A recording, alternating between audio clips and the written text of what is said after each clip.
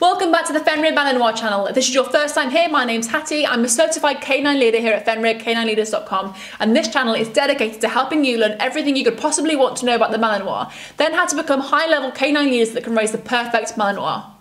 So if you're a lifelong Malinois lover, thinking about getting one, or you've just started your journey with your new Malinois, then this channel is for you. So make sure you hit that subscribe button and turn the notification bell so you never miss a future Malinois video.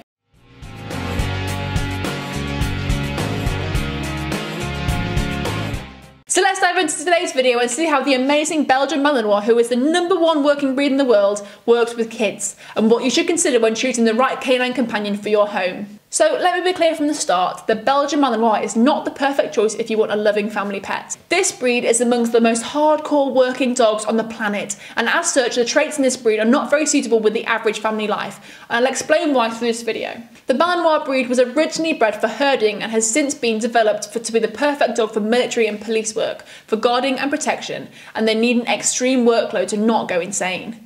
They need their handler to be collected and focused, and let's be honest, if you have a family with one or more children, your focus will always be split. In general, the advice is that if you're going to get a Malinois, you need to have extensive knowledge on dog training and how to be a calm and consistent leader for your canine companion. And when I say extensive knowledge of dog training, I mean this on elite levels. You need to be the kind of person who actually does work with the military or the police, or perhaps trains to compete on elite levels to meet on Malinois' needs.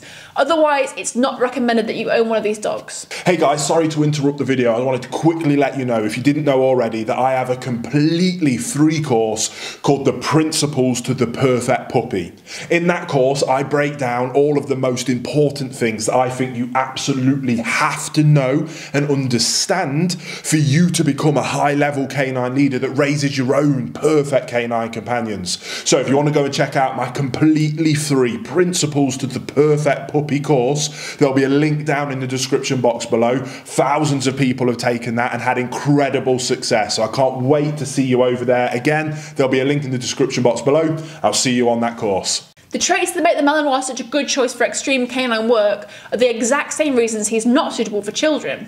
For example, his herding instincts include chasing moving objects like playing children, bikes, skateboards, cats, birds, rabbits, moving cars, you name it. Given that he is often used in protection work and this also comes from his herding skills and instincts, the Malinois is known for his bite. He likes to bite and he wants to bite. You don't want a dog who suddenly gets the idea that it's a good idea to nip or actually bite your toddler for moving around the house or for being too far from the rest of the family. Now, the Malinois is not a monstrous dog. He's just a dog whose needs are near impossible to meet in the average family, especially if you lack knowledge and experience of dog. Whilst it may not be recommended to combine children and the Malinois, it can be done, but it requires that extensive knowledge, experience, and on top of that, some serious training and physical outlet for your dog's energy. It also takes some serious parenting skills on your part to teach your children how to behave with a Malinois in the house.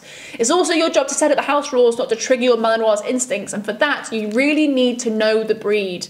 Now, the American Belgian Malinois Club says that the Malinois are good with children and other animals when properly introduced or raised with them. However, this dog can also be protective, territorial, possessive, and jealous. But this should be understood against the background of what the Malinois is. Sure, if you know what you're doing and you know how to set boundaries and limitations and how to be that calm and consistent canine leader, and you know how to raise your children to know how to behave around a Malinois, your dog could function in a family situation. And then, of course, there's the part of the Malinois being protective, territorial, possessive, and jealous.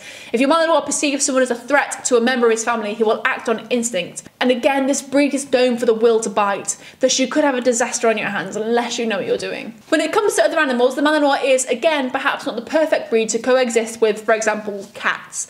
A Malinois does have a strong prey drive and may very well chase and or try to bite. Due to their skills in protection, they do not bite softly and you could end up with an injured cat. Add to that their rather serious temperament, and you'll have a dog that might try to domineer over any other animal in the house. If you've watched our other videos on the Malinois, you'll know that this breed most definitely isn't for everyone.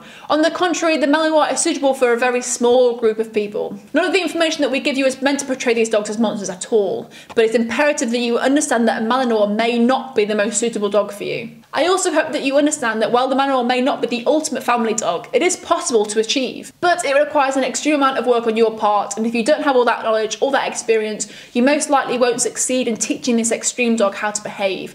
And why set yourself and your dog up for failure when there are so many other breeds out there more suited to you and your family? Hope you enjoyed today's video, and if so, make sure you hit that like button, get involved down in the comment section below, and don't forget that if you're new here, make sure you subscribe. We have two dedicated Malinois videos coming here every week, so I can't wait to talk to you again in the next episode of the Malinois channel.